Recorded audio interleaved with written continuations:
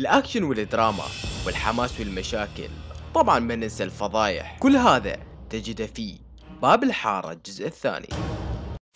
بعد ما بيسان نزلت مقطع على قناتها اللي كان هو الرد المنتظر على محمد جواني وعلى حيدر جيتارة. طبعا جواني ما سكت وطلع بحسابه بالإنستغرام ونزل ستوريات رد بي على بيسان إسماعيل وهددها إنه راح ينزل مقطع أو راح يفضح به وراح ينزل تسجيلات صوتية تفضح بيسان. راح أحط لكم ال story عم تشوفوا لاحظت بكل الفيديوهات اللي حكيت فيها أنا عنهم ما جبت ولا محادثة ولا أي شيء خاص ولا أي شيء شو كان في بيناتنا ولا أي شيء لاحظت كان ردي كلياته أغلب ردي كان على الوسخة أمه وعلى الرخيص اللي طلع جاب سيرة الشرف وصيحة كلمة يمين كلمة شمال وبس مهم يحكي ويعلق أبو قرون واللي صار واللي صار.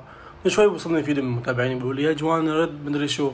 okay أنا ما كان بدي ما كنت حابب إني أحكي عنك إلك أو أحكي عن شيء بيناتنا أو أظهر تسجيلات صوت أو أحكي شغلات يمكن توطي راسك طول العمر. بس صراحة أنت أجبرتيني. من شان هيك أوكي الله قولي جمهوري واستعطف الناس يا جمهوري أنتم 10 أشخاص كلكم علي أكيد كلنا عليك إنه أنت ما شاء الله. ما بعرف شو بدي أوصفك. على كل حال آه، استنوا الفيديو. راح ورجيه للناس مين اللي رفض الثاني صار الوقت والله أنا ما حكيت لحد الآن لا على شرفك وأنا اللي كنت محتفظك سنتين. أنا اللي كنت ما لبسك القصير. هذا الشيء انثبت قدام الناس كلياتها. أنا اللي كنت أطلعك بصورة منيحة. بس أنا راح أحكي للناس ليش أنا رفضتك. مع تسجيل صوت أمك وصوتك. قلت لك روحي انقلعي. تمام؟ عندي اياه تسجيل الصوت وراح اطلعه بالحلقة وتسمعي بإذنك وتستمتعي فيه وخلي الناس تبزع عليه كل الناس حبايبي راح تقول لي جوين راح تفضح بنت عيب عليك تفضح بنت. راح أختصر هذا الشيء برد صغير. أنا راح أحط تصويت هون بتحب وأظهر الشيء اللي عندي الشيء اللي كان بيناتنا لحد الآن ما حكيت عليها إلا شخصيا. دقوا بكلامي ما حكيت عليها شيء شخصيا. بس هي جبرتني اليوم أورجيكم مين رفض الثاني ومنشان شو رفض الثاني. مع تسجيلات صوت مع محادثة مع كثير شغلات بيني وبينك. صار الوقت انك تحطي راسك وتورجي للناس شلون شلون شرفك بالأراضي. من الواضح صراحة يا حبايب إنه جواني مدى يمزح وفعلا رح يكون عنده فضايح هذه المرة وراح يحط تسجيلات قوية. فانتظروا مقطع جواني وروحوا اشتركوا كلكم بقناته وفعلوا الجرس وانتظروا مالت المقطع شو وقت رح ينزل. وطبعا بالتأكيد بيسان إسماعيل مسكتت وطلعت بحسابها بالإنستغرام ونزلت ستوريات ردت بيه على جواني وقالت اني ما خايفة من أي شيء وإنشر كل شيء تريده أحط لكم الستوري عمود تشوفوه. هي واحد اثنين. أي شيء عندك انشره. أنا واثقة من نفسي وكلنا فكرناك بني آدم أول شيء حتى المتابعين. بس بعدين اكتشفناك إنك أنت واحد بلا أخلاق okay؟ ما راح أحكي أكثر من هيك. آه فأنا واثقة من حالي وواثقة من نفسي وكلنا انغشينا فيك.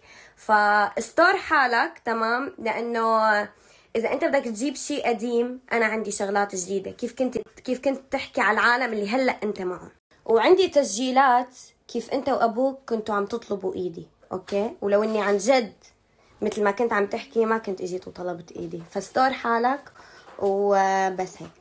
طبعا جواني مسكت ونزل ستوريات ورد بي على رد بيسان شوفوا الرد مال جواني. طيب القلب شفتوا قديش التوتر والخوف في قلبهم؟ ب 50 دقيقة بس من الستوريات اللي نزلتهم من شوي طلعوا ردوا عليهم عندي تسجيلات والجمهور بظهري وأنا ما بقصد الجمهور العراقي الممثلين العراقيين بس بدها تحاول تستعطف حدا من الناس بس وقفوا معي. بالاخص البنات تستعطف البنات وقفوا معي. أول شغلة أنت ما بتمثلي أي بنت. لك أنت أول شيء هذا عار عليك عم تقول أنت جيت تطلبني أنت وأبوك. لما أنا جيت أطلبك معناتها أنا رجال. جيت أطلبك بالحلال عشان أضبك وأسويك بني آدم. بس أنت شو عملتي؟ رفضتي وقلتي لي أنا ما بدخل دين الإسلام. وأنا بدي أضل عم بغني على المسارح. مو أنت أمك اللي قالتها أنت ست تبكي قلتي بدي جواني. على كل حال التسجيلات أنا رح أحطهم. أنا اللي رح أحط تسجيلات الصوت. أنا اللي رح أحط المحادثات. أنا اللي رح أحكي. أنا رجال بفتخر إني جيت طلبتك مشان أضبك أسويك بني آدمة. بفتخر. إذا بتلف الدنيا كلها ما بتلاقي واحد صريح مثلك. مشان هيك أنت استني التسجيلات مو أنا.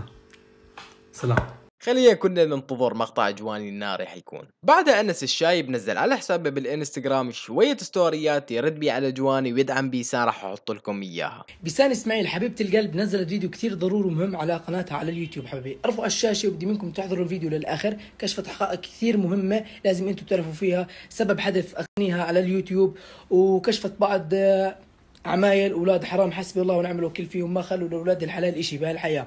فحبايب ضروري منكم أنكم ترفعوا الشاشة وتحضروا الفيديو للآخر. وحسبي الله ونعم الوكيل فيهم كلياتهم. كل واحد بضر بسان واحد في المية.